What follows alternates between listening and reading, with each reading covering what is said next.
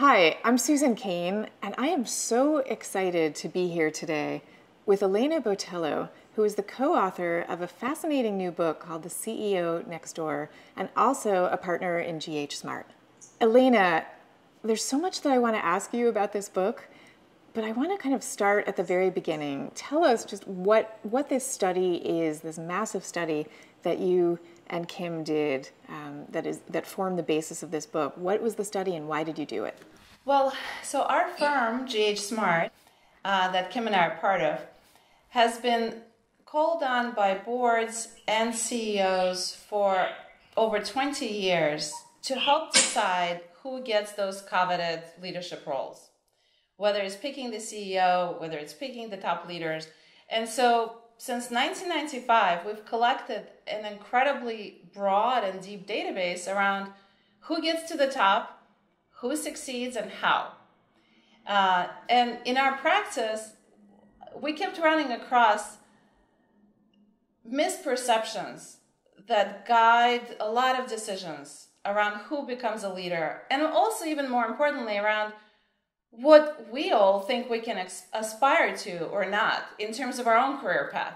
And so, armed with this tremendous data, it felt that we frankly felt it was our duty to use the data that we've assembled over the years to help really bring the facts to dispel a lot of the fiction that exists out, out there. And Susan, as you've been dispelling fiction about what it means to be successful and how, um, what successful leaders need to look like, similarly, we really felt that we had to dig into the database to really look at what is the what do the facts tell us about who gets to the top and who succeeds? And so that's really what we did. Um, and it was very important to us to be fully objective. So part of kind of what the firm stands on and what our advice stands on is objectivity and grounding in real rigorous analysis.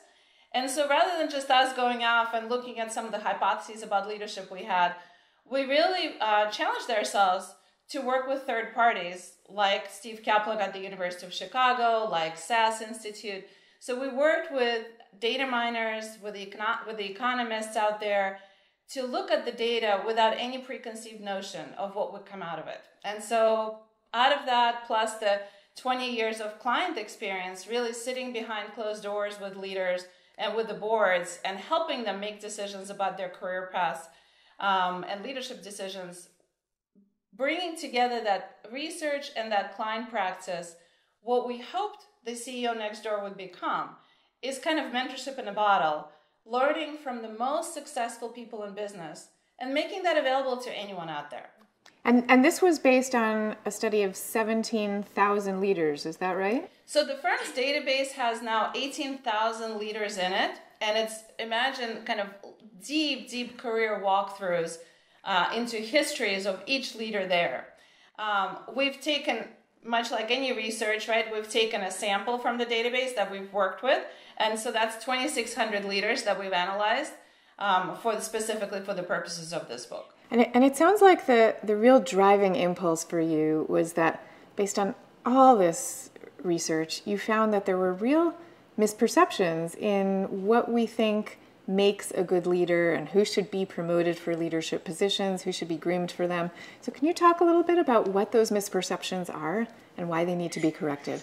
You know, Susan, we were struck, we were absolutely dumbfounded. So, normally in business, right, you find gems or uncovered uncover opportunities in kind of dusty corners, right, in places where nobody looks what it takes to succeed, what it takes to become a CEO is something that's constantly in the public spotlight, right? And so you would think, gosh, how do we get that wrong? Because we've we spend, you know, hundreds of millions of dollars on leadership development, on diversity. And so frankly, again, when we embarked on our research efforts, we didn't really know what we would find or if what we would find would be innovative in any way what we did uncover really struck us. And I would give you kind of two pictures, right? One I think will probably resonate for you, especially poignantly. Um, I was in the boardroom. The board was working through a decision of who to appoint this as a CEO. We've assessed several candidates for uh, for that position, and it was very clear that there was one candidate who looked like a really strong choice. Uh, he had a tremendous track record. He had experience in the industry. He seemed to have checked every box. And yet the board was circling and circling and circling, just weren't comfortable until the lead director finally said, Elena, I get it. He's been really successful, but he's just such an introvert.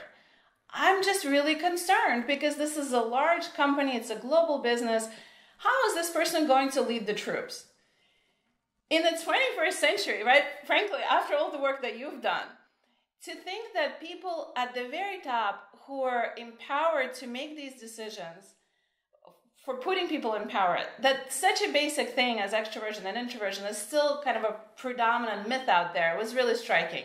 So then when we looked at the data we actually uncovered a lot of different myths that really really shocked us. So one of them is the fact that we all have this picture in our minds or many of us do of this charismatic larger than life personality who rides in on a white horse and just with a force of natural charisma uh, you know gets gets the troops to follow them through hell and high water well, you better than anyone know that that's not the case, right?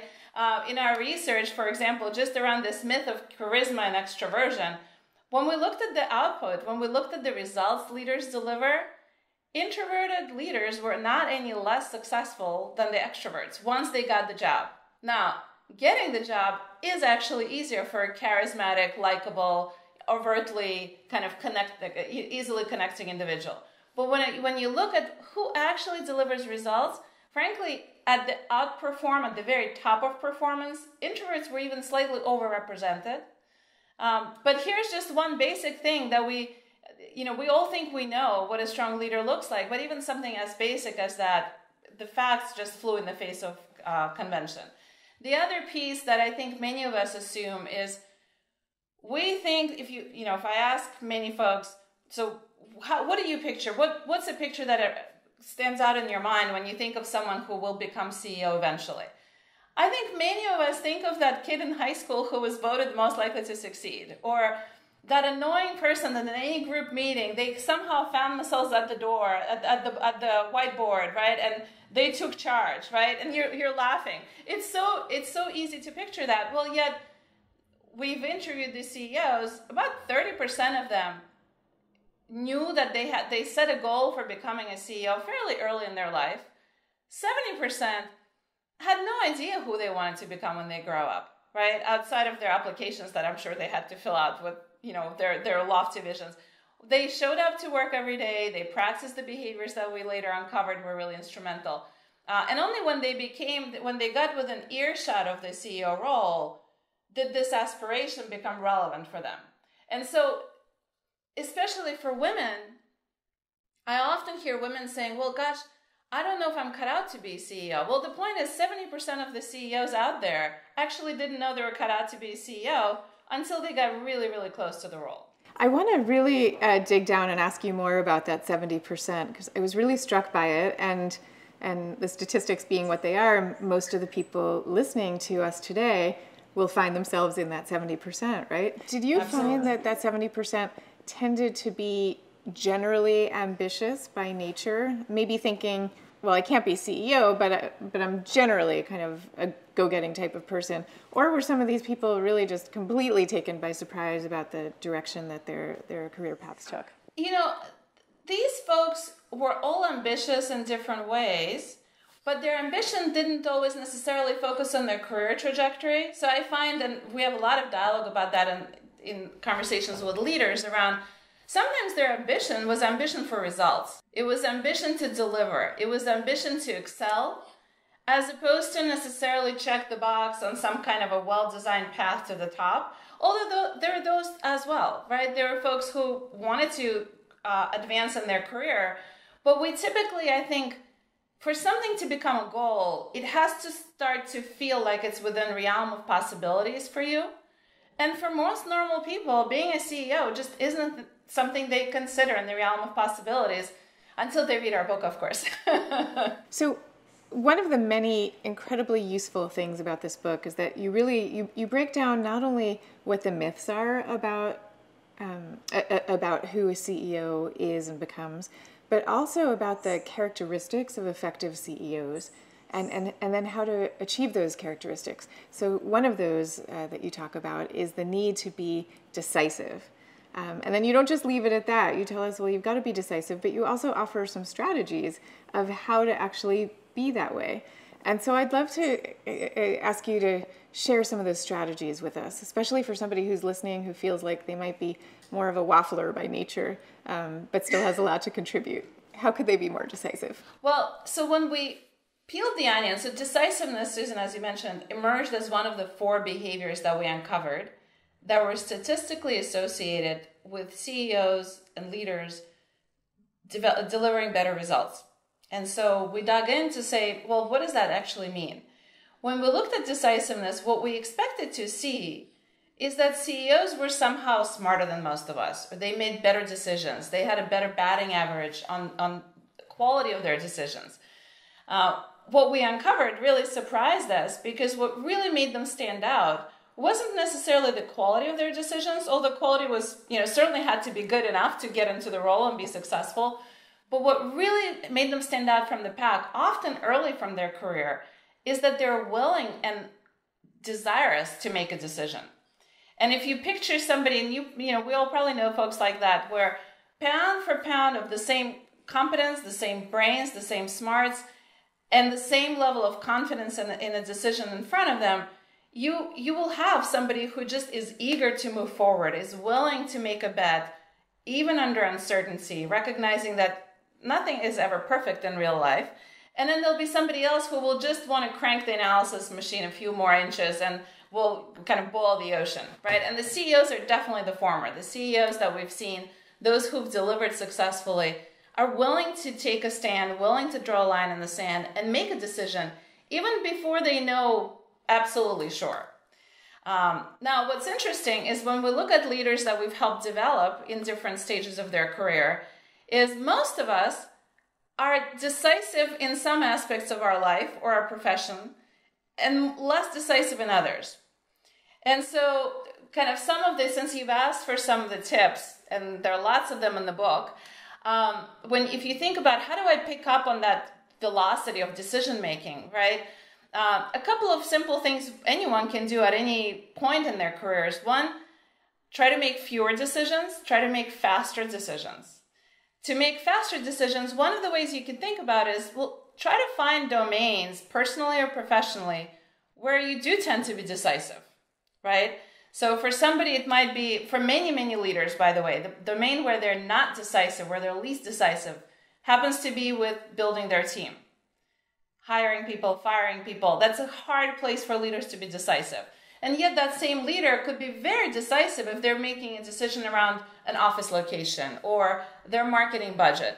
And so, one advice is look at the places where you are decisive and what allows you to be comfortable and be decisive, and then push yourself to the point of discomfort in, in a domain where you haven't been able to be decisive. So, take, take something that you already do well and try to learn from that to, to, to push yourself to be faster and make fewer decisions. There's another aspect of leadership that you talk about that seemed, when I first read it, I thought, well, okay, I get that this is important, but I was surprised to find it at, uh, among the top four um, characteristics that you uncovered. So I want to ask you to talk about it.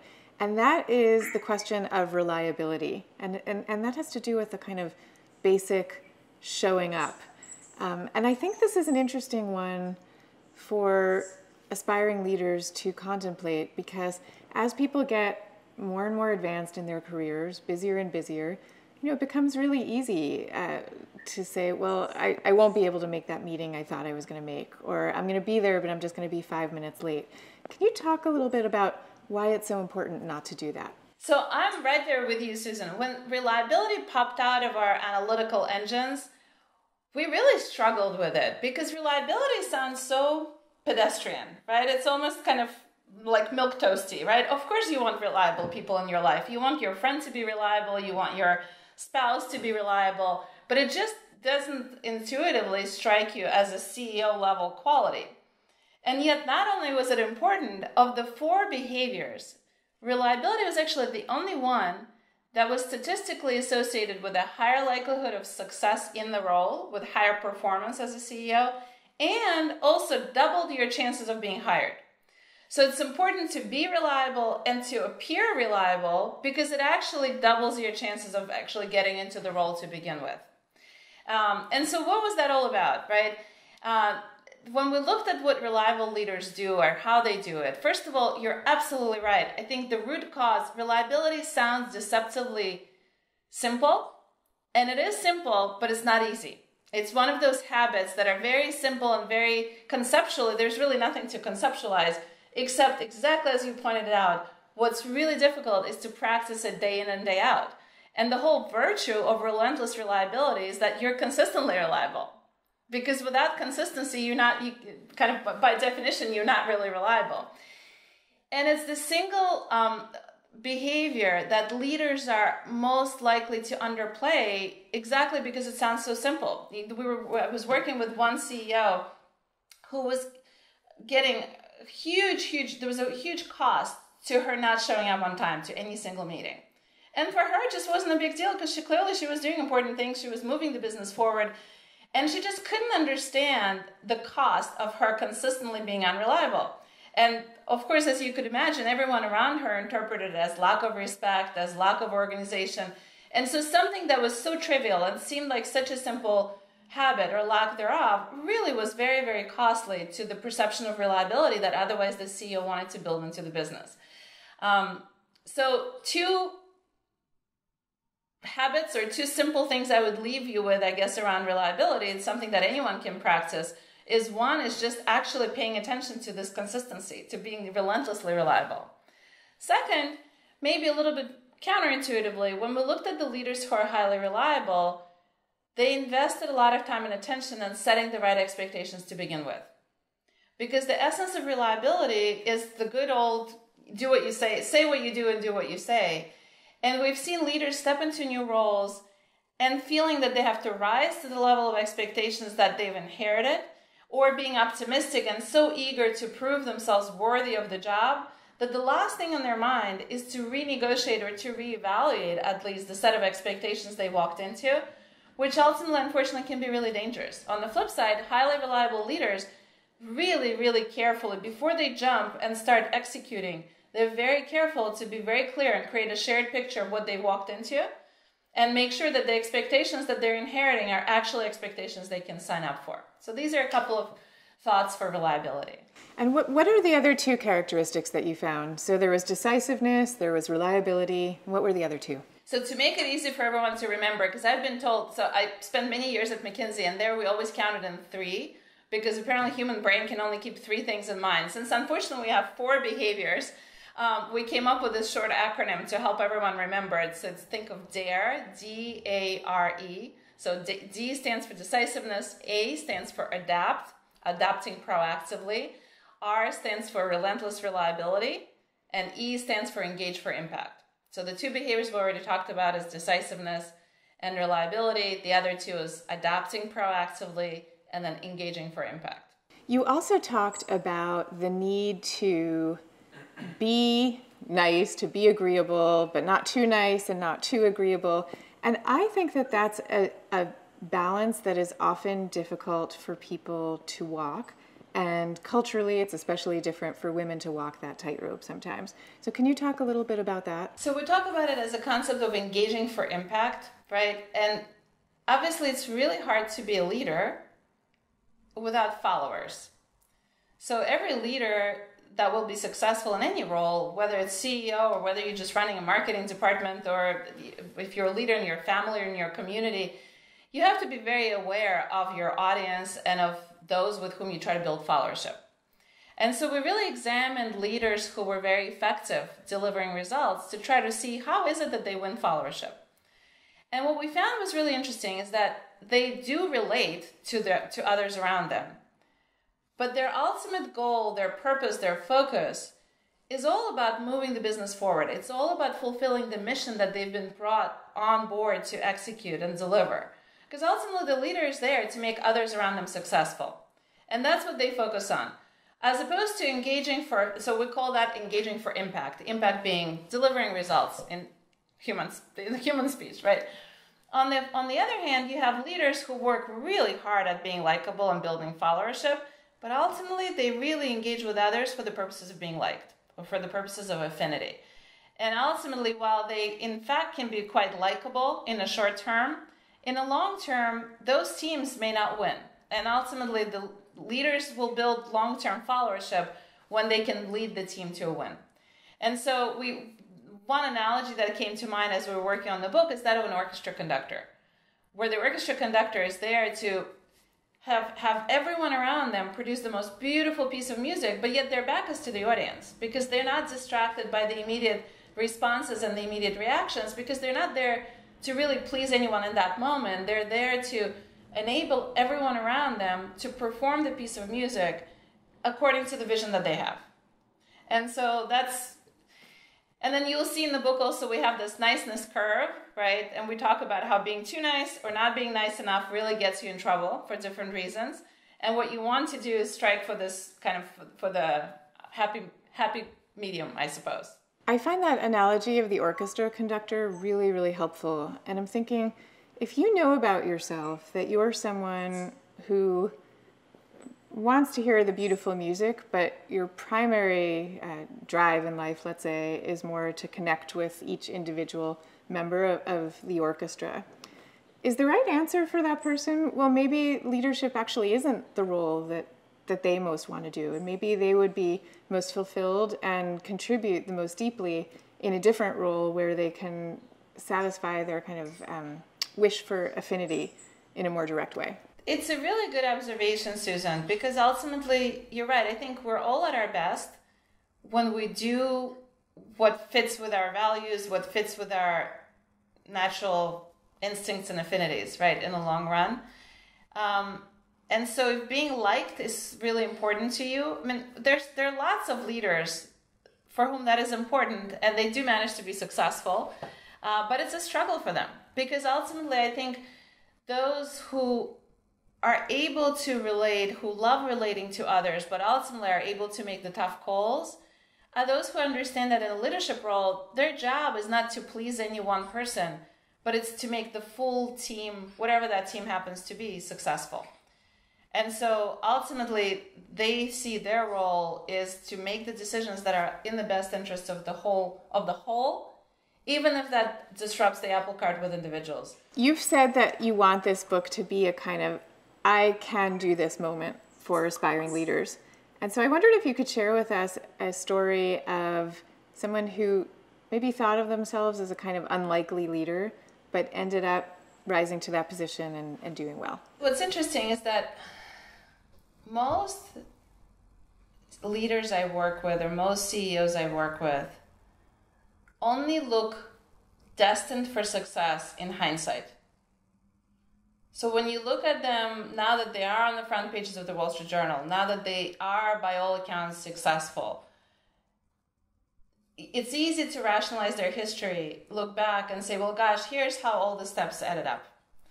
But actually, if you cut the tape, if you cut the recording, if you will, at any point in time and had to predict their success, it would be much less obvious because every single leader we work with, and we always joke around that the only perfect CEOs we know, or the only perfect leaders or the only perfect human beings are those who we don't actually know all that well. And so, in a way, if you if you uh, really looked closely at any of the CEOs that were included in the research, you would ca- picture yourself in the worst moment of your career, in the absolute disaster moment when your heart was pounding or was in your stomach, and and you thought of yourself as an absolute and utter failure. And you know, maybe there are people out there who never feel this way, but I could certainly, when I describe that moment, you know, my blood pressure is going up because I've had many of those moments myself. And just know that having assessed, so personally, I've, I've advised and, and assessed over 200 CEOs. In the research, we've looked at 2,600 leaders. Every one of them has gone through multiple hair raising experiences like that. And every one of them, if you caught them in that moment, would be an absolutely unlikely success story. What was interesting is we looked at um, mistakes made by uh, leaders, and we found that 45% of them, not 100% of them, made mistakes. And part of our interview methodology really spends a lot of time understanding those mistakes because they're part of understanding a leader. But 45% of them had huge blowups. So not just so a mistake would be something like, well, gosh, we overspend our marketing budget by 10%, right? 45% that had blowups, it looks something like Andy Silvernail, for example, and Andy is one of the CEOs we mentioned in the book. Um, he's the CEO of IDEX, one of the very successful middle market companies. Uh, he's had a very successful run. He's delivered and outperformed for his shareholders. But if you caught him on his first in his first month or his first quarter in the role, what you would see is that actually Andy just made a huge mistake in an acquisition that he made. It was about a couple of hundred million dollars of shareholder value that he basically tanked because of the deal that he made. And imagine, picture walking into that as a first experience as a CEO. And yet, you know, today, again, Andy has lived to tell the story. And so what we've learned is every one of them has have had hair-raising moments. And actually, somebody listening to this might say, well, so how do I know if I'm, you know, I, am living one right now. How do I know if I will emerge uh, victorious and successful or if it will become my undoing? What was really interesting, um, our research showed that it's actually not the nature of the mistake itself. I mean, short of, you know, crimes and misdemeanors, right?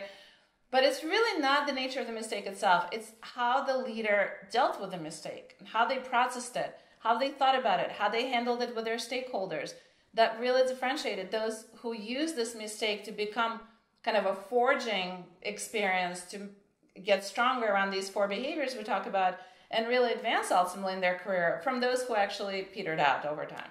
So, what is the best thing that you should do after you've just made an embarrassing mistake? What should you say to your stakeholders? Well, first of all, owning it is a really important piece, right? Is being able to own it and being able to apologize. We have a whole section in the book uh, reviewing the good old art of apology, which probably is useful to all of us personally, not just professionally.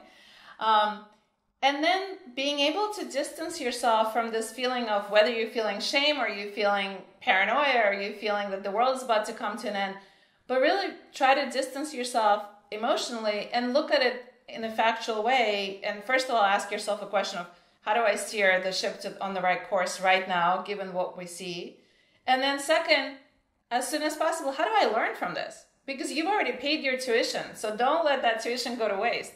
Uh, and if you assume that you're going to succeed ultimately in the long run, and you know whether it's going to be 10 months or 10 years, that this mistake is going to be something you can look back at with a newly found wisdom. Well, what is that wisdom that you can find from this mistake? And we think it's because seeing it as a failure really added to that sense of shame and really made it harder for them to learn. They wanted to kind of put it away, put it in the bag, and not come back to it versus thinking of it as a mistake that objectively could have been a disaster. They can even talk about it as, well, gosh, that was that was that day was a disaster. I, you know, this didn't go well. Uh, but it was interesting because the the use of the word failure in in thinking and processing that those mistakes was associated with worse outcomes. Yeah, you know that was really interesting to me because I think failure has become a, become a kind of buzzword recently in the business press. You know, there's an idea of we should own our failures, we should celebrate them. You can't succeed without having lots of failures along the way. Um, so it was interesting to me to think about, well, maybe the language that you use matters and talk about mistakes yeah. rather than failures. And look, I, I would hate for people to take away kind of an interview tip from that. I think fundamentally that language was just a representation of how people thought about it. So I think language is, in this case, is only important as a reflection of your thinking. How receptive have you found? boards and other people in charge of appointing leaders to be in in taking in this data. So, you know, the next time that they're presented with a candidate who didn't go to the fanciest business school and doesn't have the charismatic, extroverted personality, um, but is a fantastic candidate in all the other ways. Um, how how open are they to overlooking those typical biases? You know, as much as I'd love to think that the book will change the world for the better overnight. That certainly won't happen. Uh, and all the common reasons that could be valid reasons or excuses when they're used as excuses are still out there, right? Around the fact that, well, gosh, we would love to have a minority candidate. We just don't have them in the pipeline, right? Um, so clearly, as much as I'd love to change the world, it will not happen overnight. However, what I absolutely have found is look, most boards feel tremendous sense of responsibility for making the right decision. And most boards actually, when presented with facts, we have a whole conversation now. When I advise boards around succession or selection, um, we have a whole conversation about biases. And we talk about the fact that, well, isn't that interesting? Just one of the biases you could be aware of is that pound for pound of the same capability, foreign accent makes you 12 times less likely to get the job. And I know you guys have a brilliant diversity program, and so did everyone else in our data set, right? And so what that does, it just raises a sense of awareness. And when there's awareness, there's better decision making. We have so what it's allowed us to do is have a set of very fact-based, research-based conversations around things that do matter for performance, like the four behaviors, and how to look for them. And also, interestingly, sometimes somebody who will be a strong CEO may upset the apple cart too much when they're coming up through the ranks. And so we talk about what does decisiveness look like that may pay, pay off and be really an asset once someone becomes a CEO. But now that they're a middle manager, people are kind of frustrated because they're too decisive, right? And so it allowed us to have a fact based conversation about what to look for, how to find it, how to measure it, how to be objective, and also what to guard against, which is, oh, gee, you know, isn't that guy likable and charismatic? Or isn't that woman, you know, just perfectly fitting your kind of stereotypical cast? Well, let's be careful. Let's make sure that we're paying attention to the data. So it's led to a more fact based conversation, which, you know, coming from a family of mathematicians and spending my life bringing facts to leadership, I've seen lead to better decisions already. Well, Elena, thank you so much. This has been absolutely fascinating, and I really hope that your findings go far and deep into the world. Thanks.